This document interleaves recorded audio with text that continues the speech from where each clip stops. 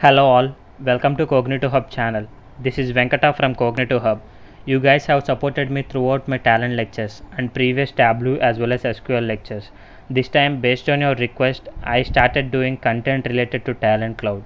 Here we will get to know the complete information related to Talend Cloud in a span of 10 lectures. And these lectures includes right from installation to scheduling jobs. And one thing I want to mention, if you still haven't subscribed to my channel, please do it now and share this channel to your friends and colleagues. And if you have any doubts related to Talend Studio or uh, Talend for Big Data or Talend Cloud, please comment it down. I will probably re- reply within 24 hours. And lastly, please help Cognitive Hub channel to reach more people around the world. It's time to get into the main video.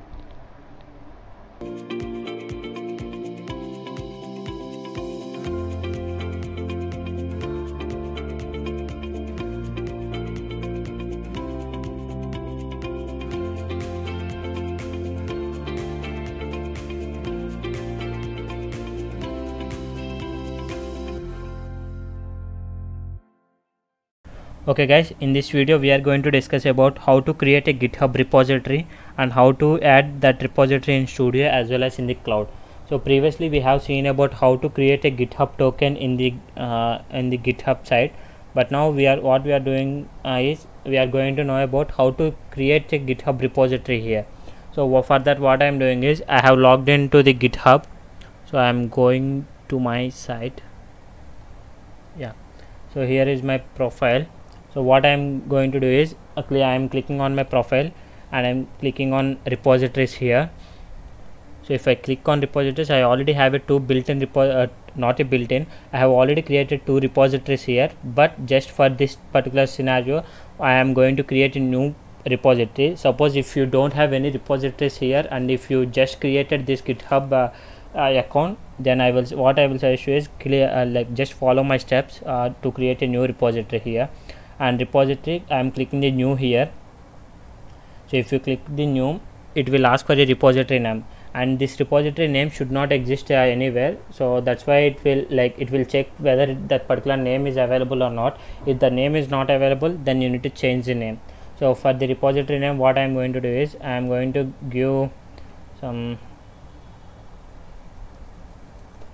Talend projects. Yeah this uh, if you observe this i have given the repository name as Talend underscore projects and that Talend underscore projects is available. So that's why it, uh, it won't show any problem with my repository name.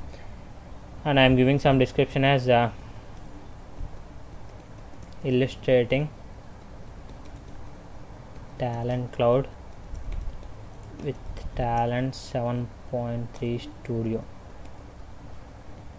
And i am making this as a public i'm just i'm adding a readme file and i'm clicking on create repository. So that's it. That simple it is creating a repository in uh, github. So if you observe this under the subbu under uh, subbarao 517 i have a, a new uh, repository known as Talend underscore projects with some description here.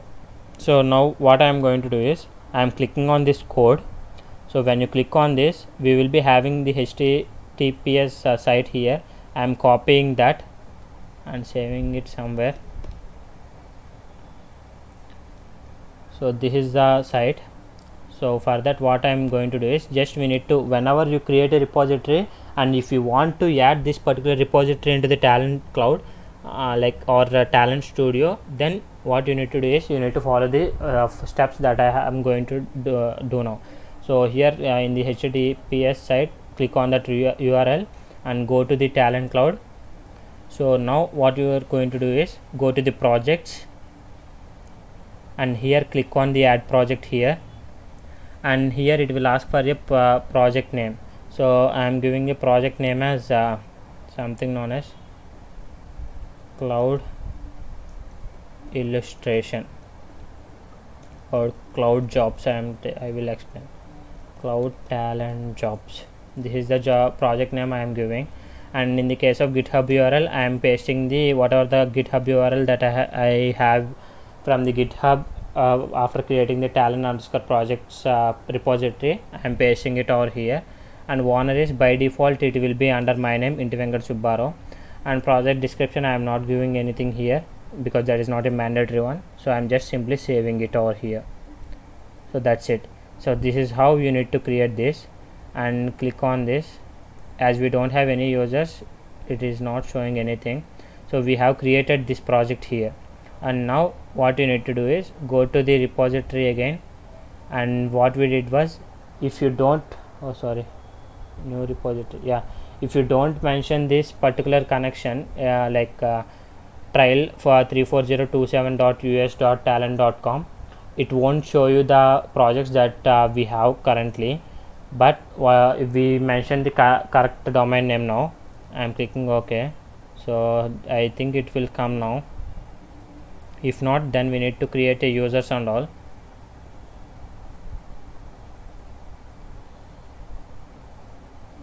So it needs to pick the projects from that particular user.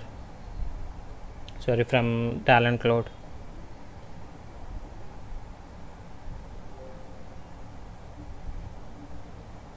it is not picking up the files seems oh it is not in the same connection. So we did that connection in the new remote. We just checked that in the previous remote connection initial one.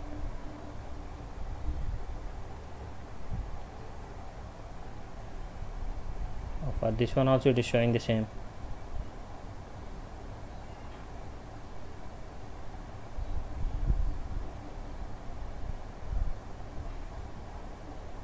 new remote okay.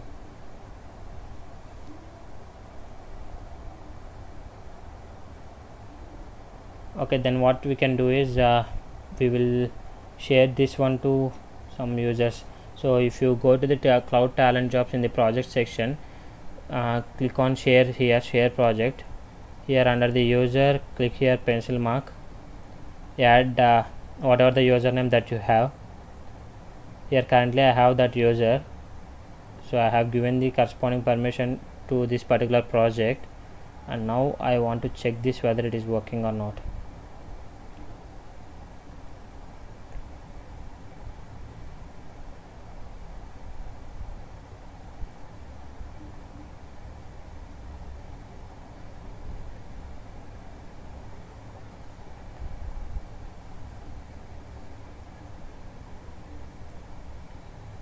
so I click the new remote now. Yeah. So that's what happened previously. We created a project in this cloud but we haven't uh, shared it with any of the user. But now what I did was I have shared it with uh, the username as my name. That is Indivenkat Subbarao and if you in if it is in your case it is by default you will be having your name and in the coming lectures i will tell you how we can add a users and how we can assign those users to a particular group and how we can assign uh, all the permissions at a time to a complete group itself. But in this video i just uh, like just to illustrate how we can implement this project like how we can open the Talend studio with that particular project and all. I have uh, just to illustrate that i directly uh, like added that user uh, shared that uh, particular project to that particular user and here if you observe here this particular cloud underscore Talend underscore jobs is having two branches here. One is master and another one is for branches slash main. So i am clicking main main branch here and i am op finish clicking uh, finish. So that's it for uh, Talend loading. So it will pop up for this one. Click on s. So it will take some time to load the uh, like uh, Talend studio. So once it gets loaded completely then uh, you are good to do your jobs and all but uh, it will take some time to publish uh, like to publish jobs from Talend studio to cloud. I will tell you how we can do that and all.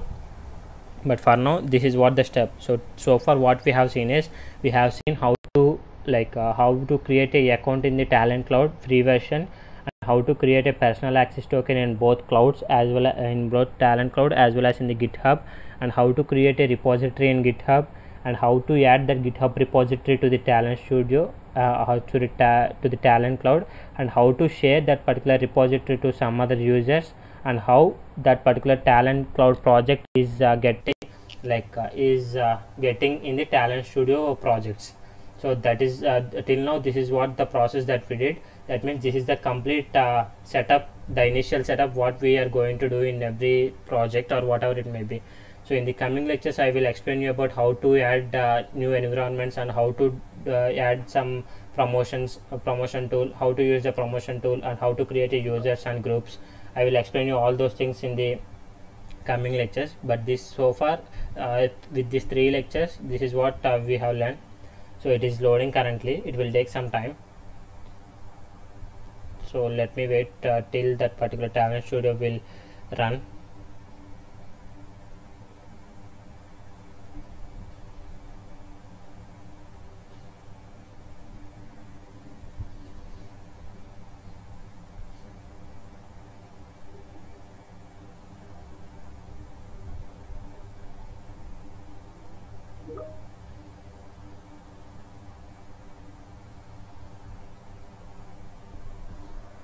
yeah it right i think it loaded successfully. Yep. So this is how it comes.